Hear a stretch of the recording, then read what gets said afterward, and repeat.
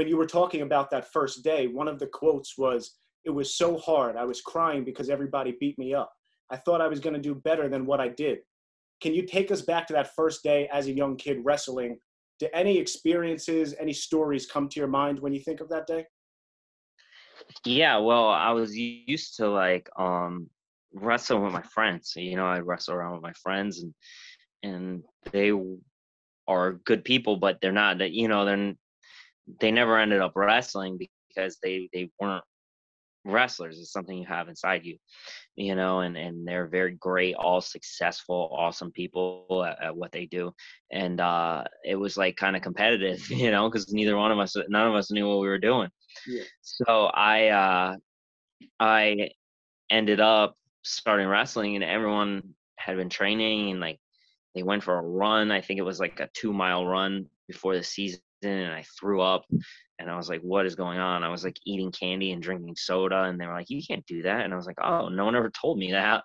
Like, you know, like I knew nothing about nutrition, nothing about hard work. I'd played sports, but like when you're a kid and you play sports, it's not it's not really the same. Like you don't know. Like kids today might know better than I knew when I was growing up, but it's uh it was different. I was like the first athlete in my family, really. No one else in my family really played sports. My uh my dad wrestled for a year, but he was like kind of like a troublemaker, you know. So mm-hmm. he uh he ended up quitting after a year. or not doing what? What made him stop? He was into like riding he was riding like motorcycles and doing stuff like that and like okay. trying to be cool. He had better stuff to do. Yeah, yeah, he was a cool guy. So I wasn't a cool guy. I was a wrestler. And it was so hard my first day, you know, I was crying, crying and, and it was tough, but my family they they helped me, they motivate me, you know, motivate me to stay with it and not quit. And uh, I stuck with it and I ended up you know, uh, I think I won like a over 150 matches or 100 I won no, I won 100 and like 25 matches in high school.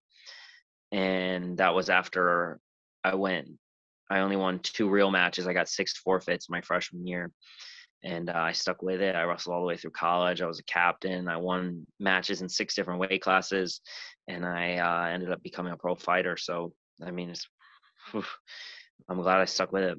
Yeah, man. This act, that point actually brings me to the most inspirational part, at least in my opinion. And tell me if I have this information correct from what I read in your first season wrestling, I didn't say what age you were, but it said you went 0 17, came back that next season, and then went undefeated. Is that true? And if it is, what changed? No, it's not true. It's not true. Okay. But it's close. Um, so I lost my first 17 matches. And I I finished the season uh, two and 22, eight I think eight and 22 if you count six forfeits I got because I was a 103 pounder. But for real, my first 17 matches, I I, I lost all of them, and uh, it was tough. My next year, I came back, and I think I I don't know why I remember this. I think I went 24 and 12, and I I placed in my conference, and I won matches at states.